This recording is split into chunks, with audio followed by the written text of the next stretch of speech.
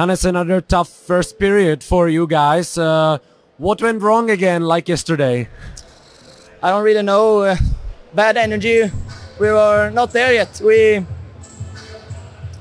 lot of mistakes and uh, ah, I don't know. Actually, we are no energy in the team.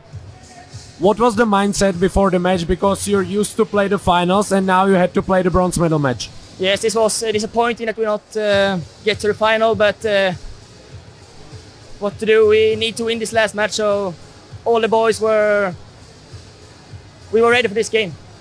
Let's talk about the comeback in this match. You managed to turn it around in the last second. So Yes. how did you do that? We took the ball to the goal and uh, yes, it went in a lot. It went it went in a lot of times. So we we play a beautiful third period. We high ball temp. So yes, So right now, how do you feel about the bronze medal? I'm happy. I'm happy with this bronze, but uh, disappointing that we not are in the final. Okay, thank you and congratulations.